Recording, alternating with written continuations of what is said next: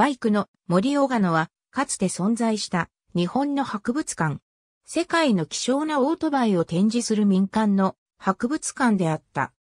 埼玉県秩父郡小鹿野町が取り組むオートバイによる町おこし事業の中心的事業として誘致され、2008年12月に閉館した町営温泉クワパレス小鹿野の施設を利用して2009年5月2日に開館した。1920年代から1990年代の世界的にも希少なオートバイ約130台を常時展示し、施設内にはクアパレス、オガノ、より引き継がれた温泉、ハンニャの湯が併設されたほか、レストランやミュージアムショップも営業していた。駐車場や隣接するハンニャの丘公園の一部を使ってオーナーズクラブのミーティングやバイク雑誌のイベントなどにも利用された。2010年9月30日をもって閉館。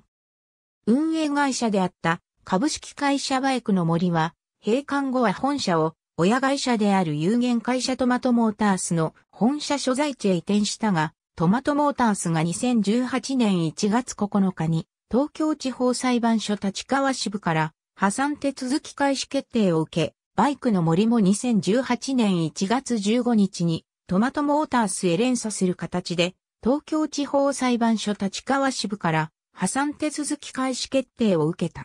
バイクの森小野の前身施設であったキュークアパレス、小野は小野町営による日帰り温泉施設であった。キュークアパレス、小野における顕著な特徴として、水着の着用を前提とした男女の混浴が可能であったことが挙げられる。そして、キュークアパレス、小野は水着を持参しなかった者に対して水着を貸与していた。